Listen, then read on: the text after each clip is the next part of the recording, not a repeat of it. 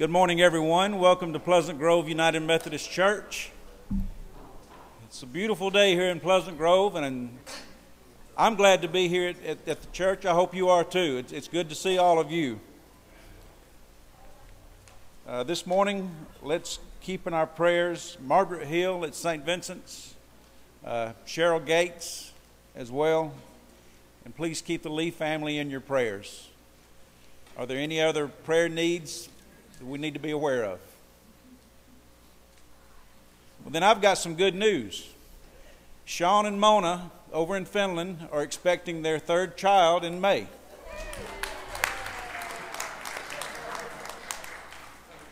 There are several very important announcements in the bulletin. Please keep that in front of you and uh, check those out.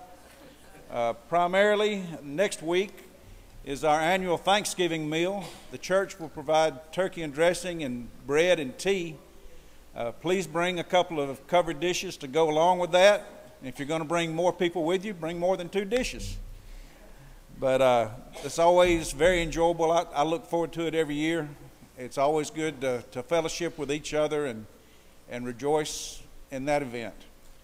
Also, that afternoon, after the Thanksgiving meal, the Alabama Civic Chorale, along with several members of our church choir who are in that chorale, will be performing Handel's Messiah at Riverchase United Methodist Church at 3 o'clock.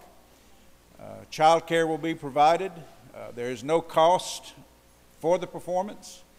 There'll be about 80 or 90 people in the chorus and about a dozen members of the symphony orchestra. So please keep that on your calendar and come and receive a blessing at Riverchase after the meal at Pleasant Grove. Any other announcements? I know there's there's some announcements about um, decorating for Christmas, November the 28th. That's Saturday morning at 9 o'clock. We're going to decorate the church for Christmas.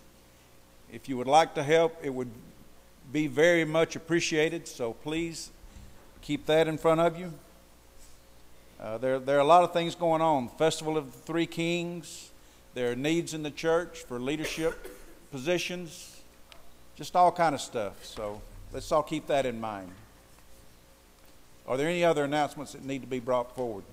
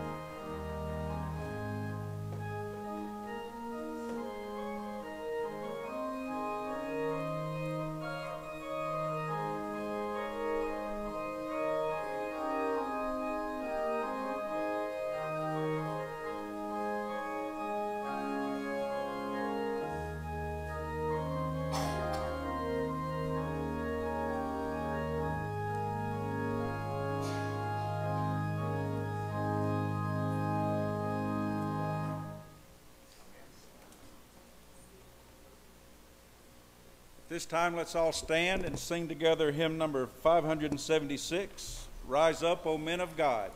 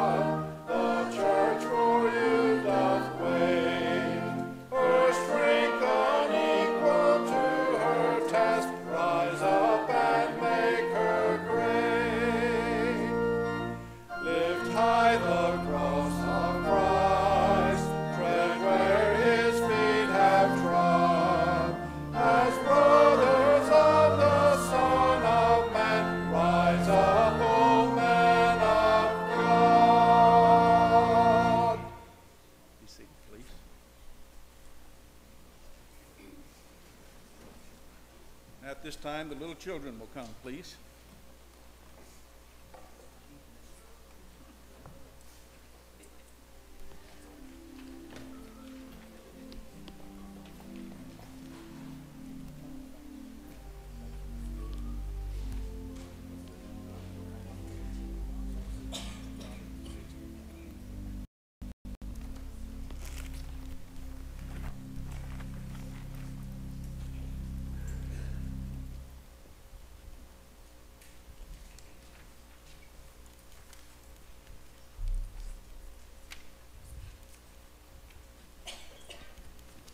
Good morning.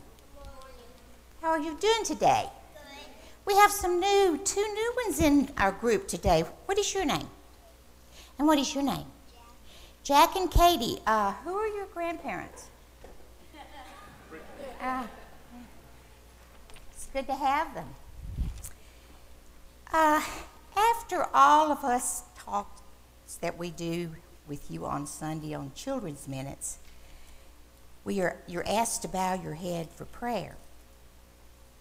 We as adults talk to God in prayer about all the everyday problems that we face. A really special thing about being young is you don't have a lot of problems. I'm not saying that you don't have any, because there's always bullies in school, or a toy that your caregivers won't purchase for you because it's not your birthday or Christmas. Right? Mm-hmm. It's your sister's birthday. Happy birthday. Oh, it's not your birthday. so today I'm going to give you a few ideas about talking to God. First, there are many ways to talk to God.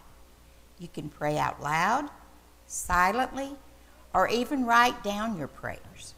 God invites you to talk to Him anytime, any way, and about any subject. He loves you and He will answer your prayers. The hard part for you to understand is the way and when He will answer your prayers. Sometimes it's not right then or in a way that you expect.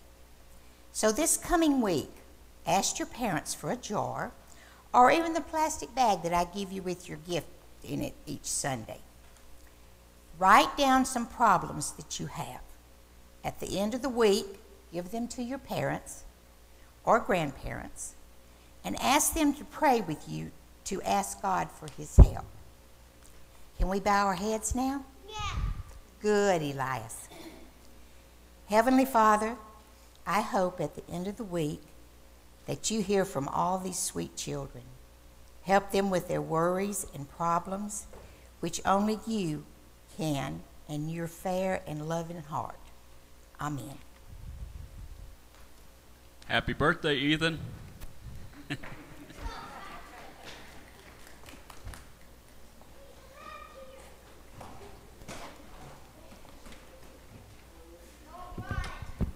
I want to take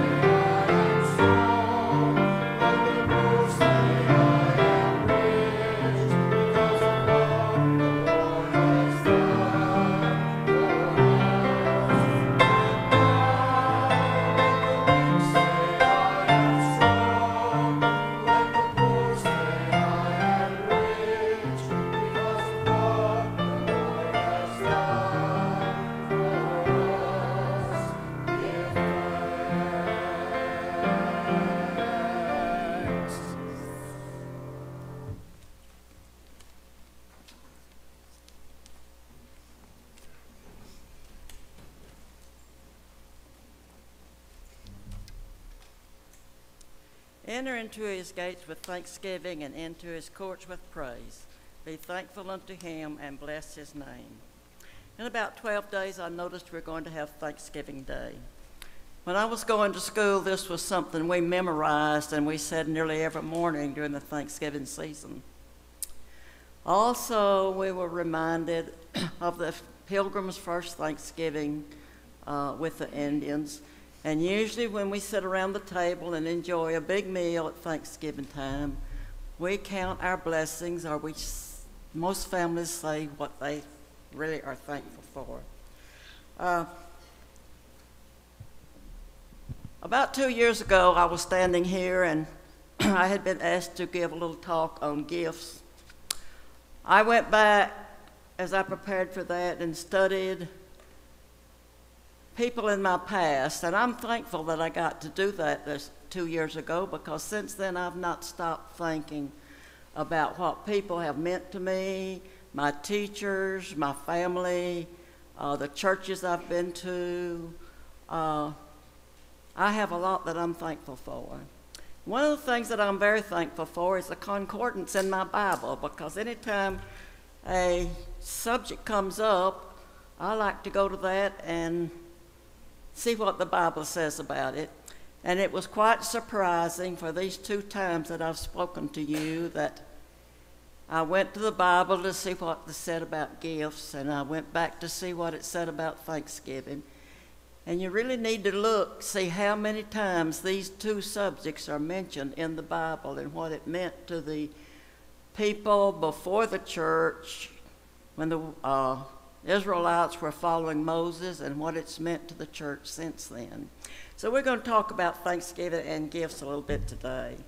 Uh, something else that I run across this week in preparation, I picked up a book at my house and it said 21 uh, promises out of the Bible.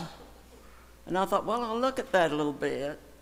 In the introduction, it told me that there were 7,487 promises in the Bible. So we've got to look for a lot of promises because, you know, God doesn't renege on his promises. Sometimes you and I will make a promise to somebody, but we forget about it or it passes by and we don't do it. So I'm real interested in what those 7,000 promises are, but it take a lot of uh, looking for me to find them. Uh, Many things that I'm thankful for in this church have happened. We came here in 1950. We were like some of you that have come later in the church, but we were so welcomed in this church that when we went home, my husband says that's the first time I've really felt at home in church since I left home when I was 21 years old. So this church kind of has a reputation for being welcoming people. And I'm so thankful for every one of you that have come from various churches in the last few years, and it's just like a whole flock of new friends.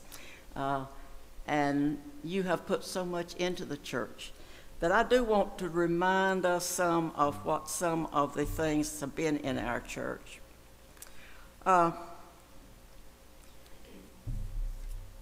First Chronicles is called David's Song of Thanksgiving. And verse 29 in that psalm says, Give to the Lord the glory due his name, bring an offering and come before him. my Sunday school class will tell you that I've said many times one of my old Bibles uh, books favorite is Deuteronomy. Because Deuteronomy is such a sad like book to me. Moses is telling his people that giving them their last message. But as I read that recently, I noticed one of the things he told them when they got into the new land that God was giving them, that they were to bring their tithes of what the increase in their fields was each year. So that was one of his last things that we bring our tithes, that we bring our gifts, and uh, bring it into the house of God. Uh, and thinking about that, I thought about this church when I first came here.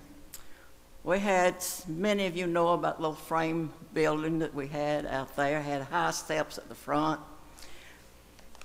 The children met in the basement. There were three rooms across the back. One of the first, what was called young adult uh, Bible class, met in one. The elderly men and women, one met up to the front. The women did, and the men got away back on in the back, and that's where they had their Sunday school lessons. We got kind of pushed for space one time, and when this church was, before gas came in, they used coal to heat the church on Sunday mornings. Some faithful guy came up here and built a big fire. But during that time, the coal was stored under the porch of this building. And then we came, we needed a space and had some young people that wanted a place for their Sunday school class. And do you know that teacher and those children got under there and cleaned out that coal and made them a class room in the coal bin?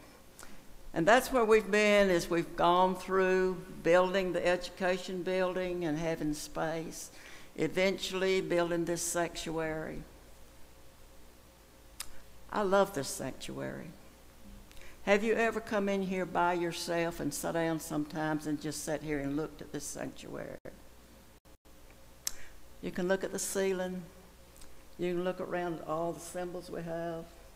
Look at the windows. You can almost read the New Testament here just by the symbols and things that we have. If you haven't ever come and sat down sometime during the week, come sit down. Just look around and spend some time alone. One of the things that uh, I have always loved is the uh, woods, the trees. If you ever sit out in the woods by yourself, completely away from man made things, it's just like a tabernacle of God. You're there. And I was surprised when I across a little saying recently that Martin Luther wrote. He says, God writes the Bible, not in the Bible alone, but also on the trees and the flowers and the clouds and the stars. So, all those things remind us of the great gifts that God has given us.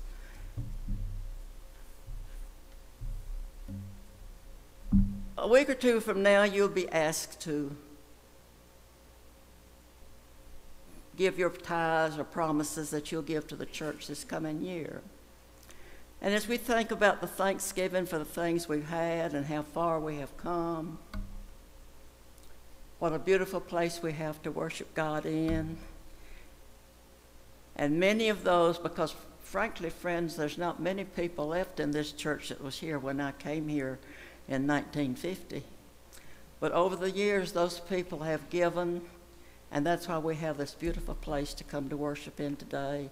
That's why we have the Sunday school rooms that you can have a beautiful place to worship. You don't have to do it in the coal bin. So remember that as you study about what you will do and think that someday somebody will come along here and they will benefit with what you have given to the church. Have a good Thanksgiving.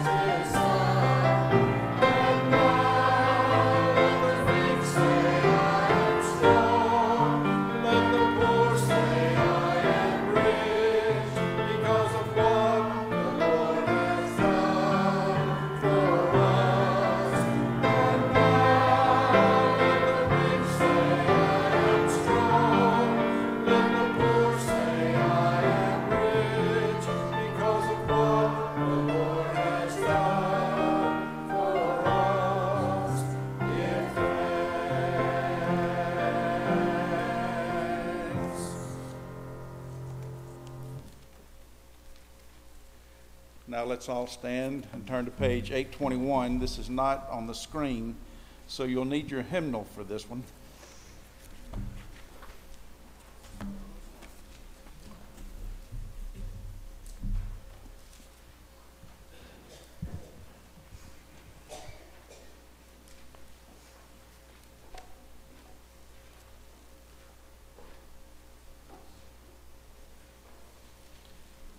Make a joyful noise to the Lord, all the lands. Serve the Lord with gladness.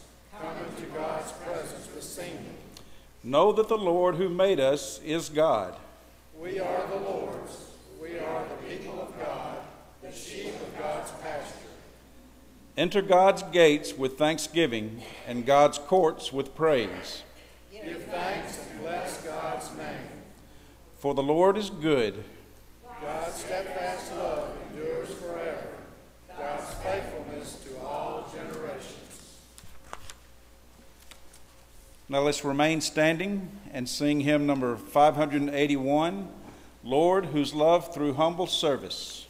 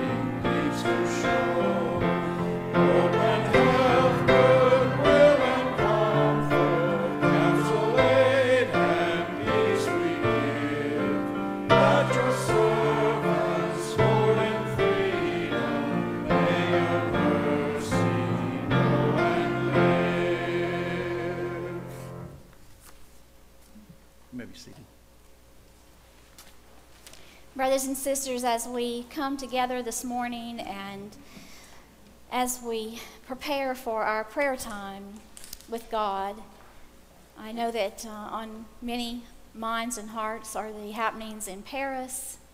And as we were singing this song, Rise Up, O Men of God, you know, in our world as Christians, we so often feel overwhelmed and that things are way bigger than we could ever possibly be. And if we're not careful as Christians, as the church of God, we retreat rather than charge and be fully who God has called us to be.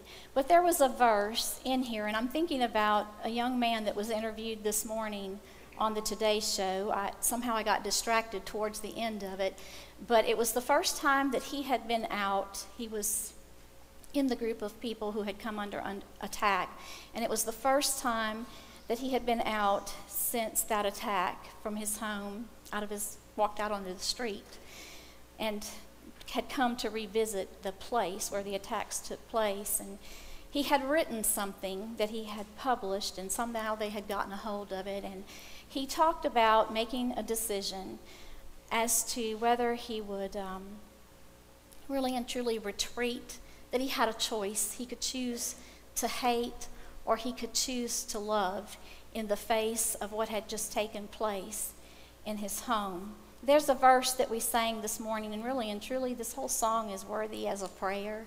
How blessed we are to have the theology that we have in our hymns and to have the Word of God in our hymns. I think sometimes we sing them because they sound pretty and we forget how meaningful they are. But this third verse says, Rise up, O men of God, the church for you doth wait. Her strength unequal to her task. Rise up and make her great. Can that be our prayer as Pleasant Grove United Methodist Church? That we, with God's help and His empowerment, would rise up, make our community of faith great, not for our own uh, good pleasure and uh, reputation, but for the kingdom and the glory of God. Let us pray. Most gracious and loving God, you are, you are holy, you are loving, you are good, and you are wise. And in your wisdom and in your goodness, you bring us along paths where sometimes we find it uh, difficult to understand. We find it in our journey and in our lives, situations that seem too hard to bear and impossible to embrace. This morning, Lord, we come before you and we depend on you in everything and in every way. For without you, we are totally lost and unable and disabled from being who you have called to be. Lord, this morning we pray for those who choose hate over love. We pray for those who choose darkness over light. We pray for those who choose a lie rather than the truth. We pray for those who are more interested in being superior rather than living in humility, who choose evil over goodness. Lord, in this day and every day, help us to see you in our neighbor. Give us courage to walk with you in the midst of our own brokenness and the brokenness of our world. And Lord, we just turn our voices and our hearts to you this morning and we pray as your Son, Jesus Christ, taught us to pray. Our Father, who art in heaven, hallowed be thy name. Thy kingdom come, thy will be done, on earth as it is in heaven. Give us this day our daily bread, and forgive us our trespasses as we forgive those who trespass against us. And lead us not into temptation, but deliver us from evil. For thine is the kingdom, and the power, and the glory forever. Rise up, O men of God. The kingdom tarries long. Bring in the day of brotherhood, and end the night of wrong. Amen.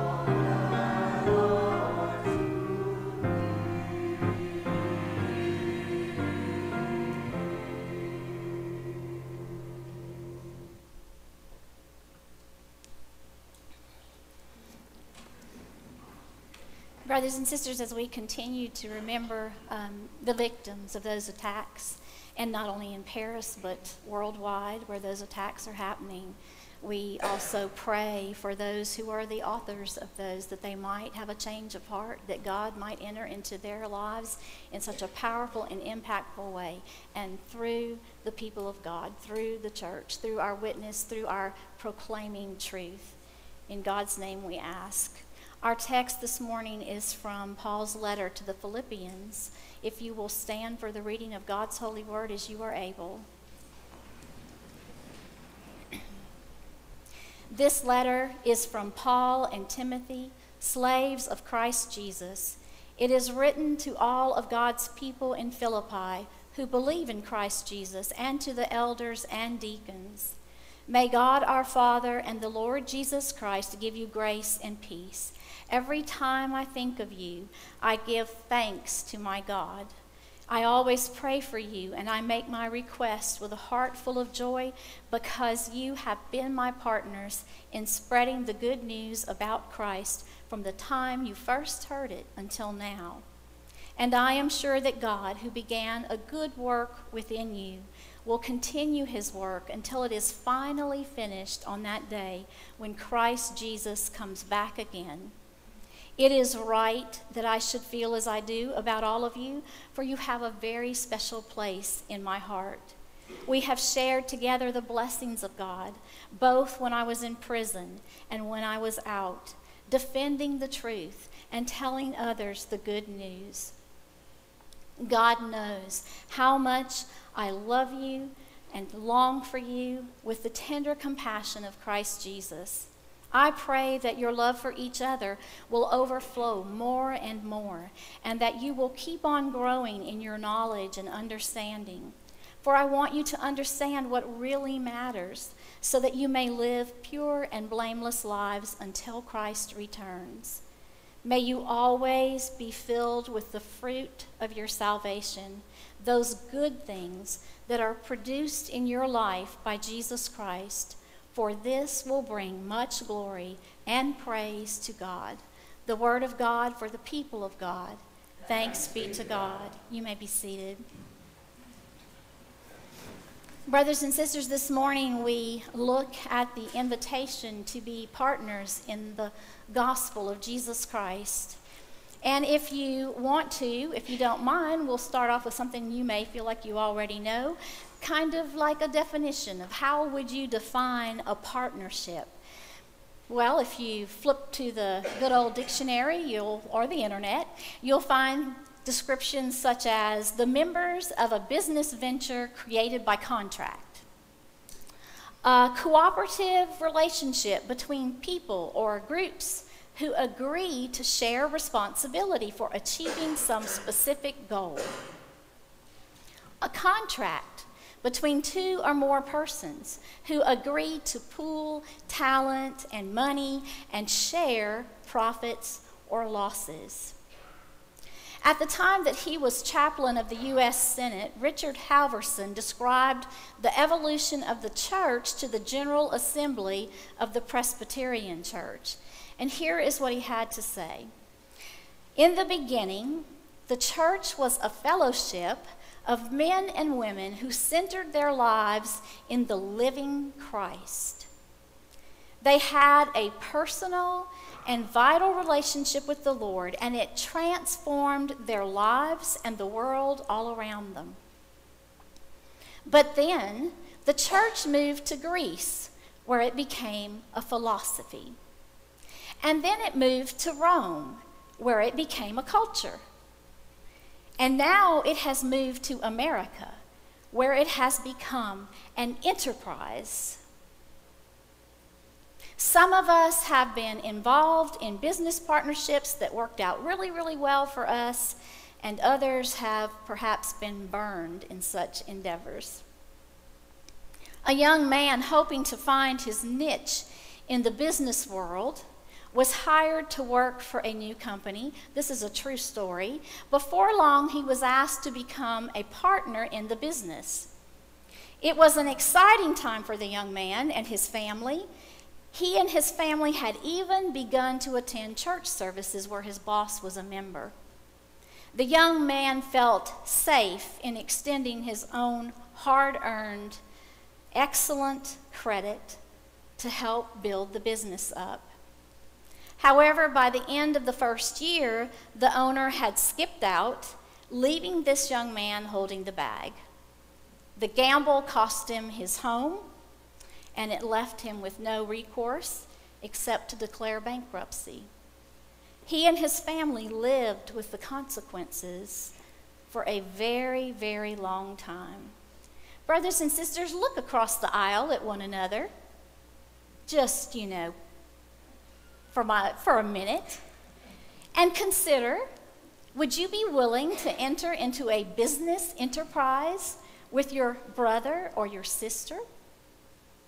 I ask this question only to make a point about the quality of our relationships with one another. Is all well between us? Are we reconciled to one another? Because you see, I believe that effectiveness is the fruit of a people who have done the hard work of getting right with one another and right with their God, giving birth to the kind of partnership that Paul speaks to in this letter addressed to the Philippians. Brothers and sisters, we have not been called to enter into a business partnership with one another, but we have been called to enter into a partnership that is based on faith. The church is not a business enterprise, it's not focused on private or personal agendas or budgets to the extent that we do nothing, or financial projections, or quotas, and all that other stuff. The church is a faith enterprise. It's focused on obedience and following and sacrifice, allowing God to be God. Every morning before we come into this sanctuary, you can pray with me. Let's pray. God, you show up this morning. Show up in our worship service. Paul's letter to the Philippians celebrates their partnership in the gospel. I always pray for you, and I make my request with a heart full of joy because you have been my partners in spreading the good news about Christ, he says, from the time you first heard it until now. And I am sure that God, who began the good work within you, will continue his work until it is finally finished on that day when Christ Jesus comes back again. Brothers and sisters, did you hear when it's finished? Did you hear when it's finished for all of us? On the day when Christ Jesus comes back again.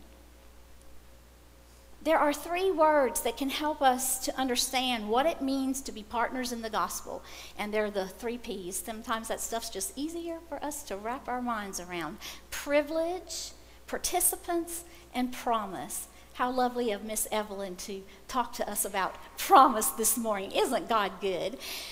Let's think about privilege. The gift of salvation is offered to everyone. And, church, I will tell you, there's sometimes we don't like that fact.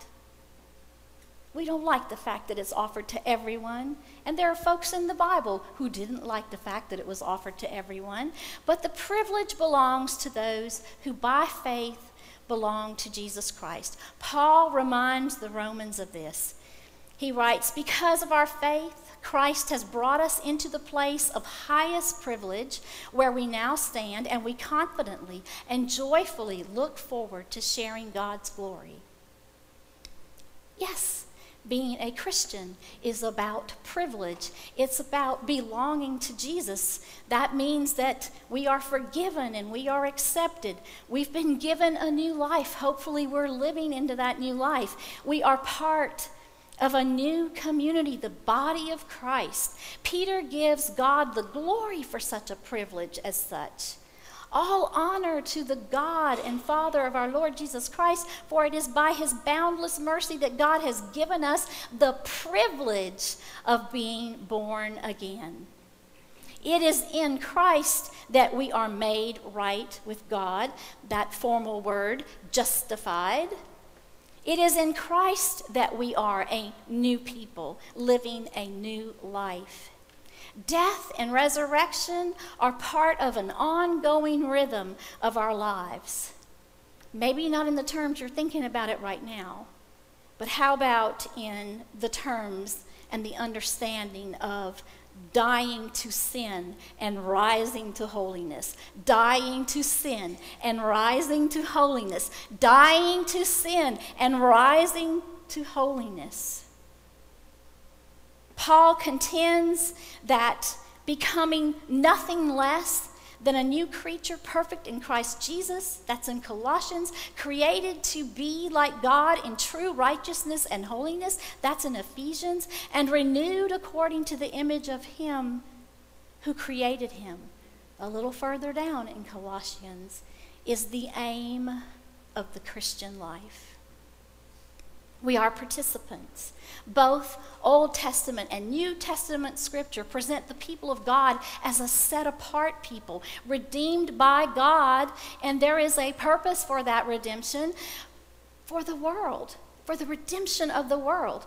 And oh my gosh, we come in this morning and we know that our world needs some redeeming. Amen? Amen. Brothers and sisters, Romans 12, I want you to look at what it describes that looks like being set apart. And I want you to read these scriptures with me. The first one, let's read it together. Do not be conformed to this world, but be transformed by the renewing of your minds. Do not think of yourself more highly than you ought. Let love be without hypocrisy. Abhor what is evil, cling to what is good. Contribute to the needs of the saints. Bless those who persecute you.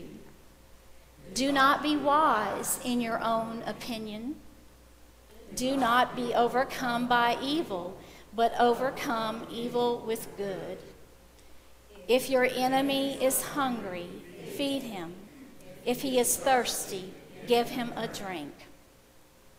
This is what it means to be set apart. Now, to be partners in the gospel requires participation and involvement. God intended for us to make a difference in the world by sharing the good news of Jesus Christ. And we do that either by our words or our deeds or both. Participation, brothers and sisters, moves us from the bench or the church pew um, to the playing field of life where the gospel can be shared with others. Contact is required. Y'all wouldn't have much to watch on Saturdays during college football time if there were no contact, right? There's a whole lot of contact that happens in football, although that's not the kind of contact we're talking about here. Discovery Club, Meals on Wheels, great examples of how we leave the pew and go out into the community. With Discovery Club, our church, Pleasant Grove UMC, and Jimmy Hale Mission and Pleasant Grove Elementary School are partners in the gospel. That's what Discovery Club is about. We're partners in the gospel through one hour a week after school. Second year and new volunteers from our church sharing the good news of Jesus Christ and building relationships with now second graders and third graders. Brothers and sisters, it's a privilege. And we're practicing being partners in the gospel. We're practicing being, we're being participants, right? We're engaging others with the good news of Jesus Christ. And as participants, we are to be servants like Jesus. When Mother Teresa looked into the face of the orphan, the leper, the castaway, the destitute, the dying, when her hands folded in prayer for them, bandaged their sores, bathed and dressed and fed them, when her voice welcomed them and spoke words of love and acceptance to them, interceded and advocated for them, she was being a servant like Jesus. And Jesus was seen in her by all those whom she served she was able to do what she did because when she looked into the face of whoever that everyone was, She chose to see Jesus. As partners in the gospel, Jesus calls us to be servants. Do we serve by choosing when and where and whom and how we will serve? Maybe the changes in our community are a direct challenge for us. I don't know. Jesus asks us to give up the right to be in charge, to let go of our fears of being taken advantage of. Our willingness to be available and vulnerable brings joy. Maxie writes, but what joy comes? What energizing of life? What power for ministry when we act out of the desire to be a servant rather than the pride producing choice to serve now and then and when, where, how, and whom we please. Brothers and sisters, we are redeemed by God for the redemption of the world. That's when we say that little blessed to be a blessing. We are redeemed by God for the redemption of the world. I've probably shared with some of you before in a small group, but you know, there have been times in my life for certain, and I'm sure for yours, in yours, uh, times of struggle. And I remember one particular season, which was very, very difficult. And as I often did going into the sanctuary at the church that I was serving and a member of, I just kind of poured that all out before God. It was on my heart. My woes, my troubles, my concerns were heavy on my heart, heavy in my mind, just feeling so grieved in spirit.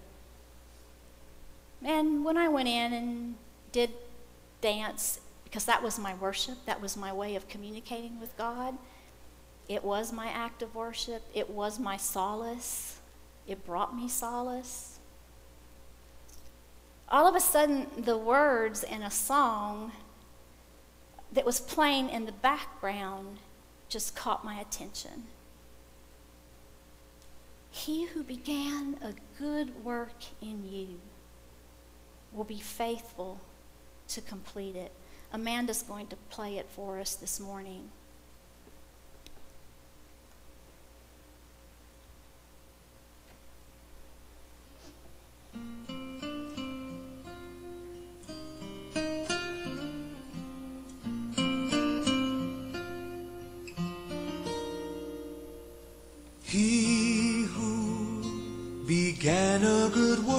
his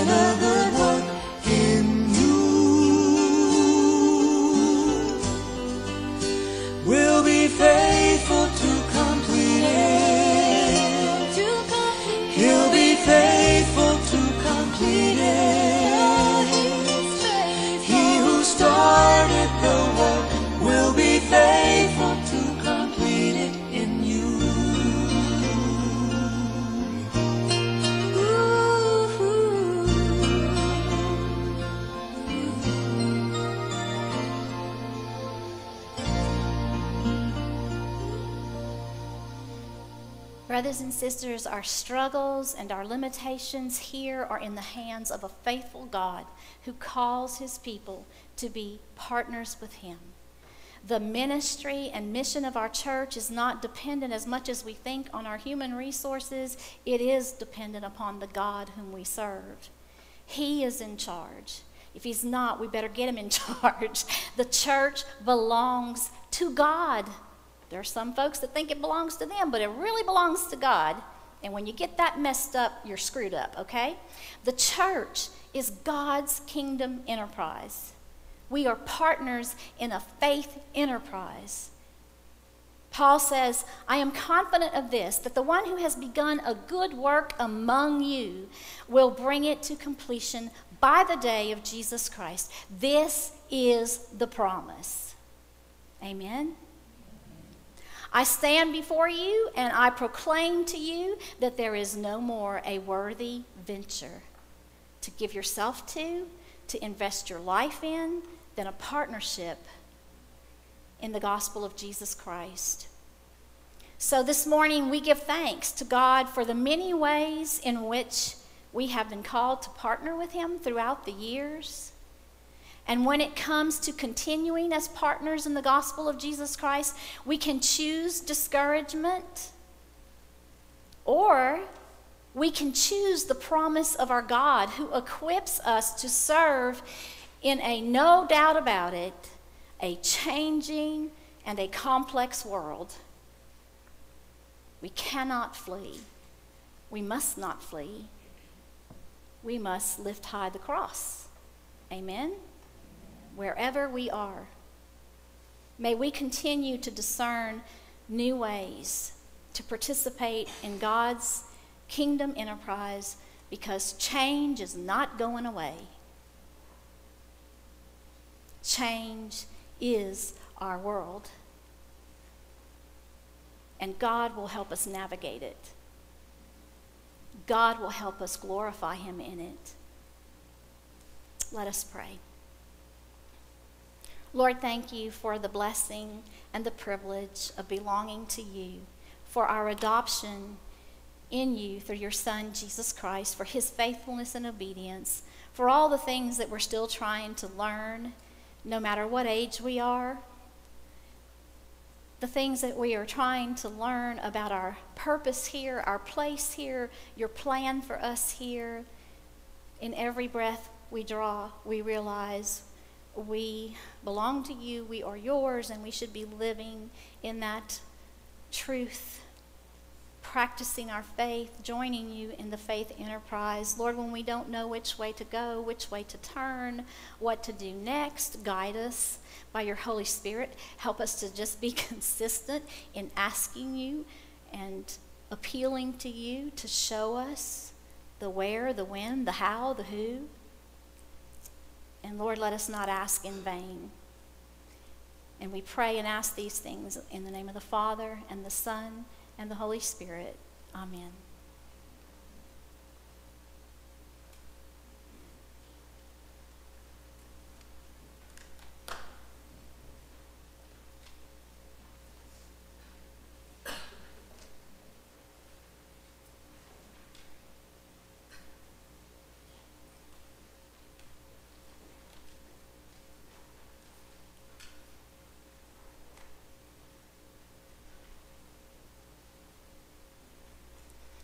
Lord, we thank you for every good gift which we have received.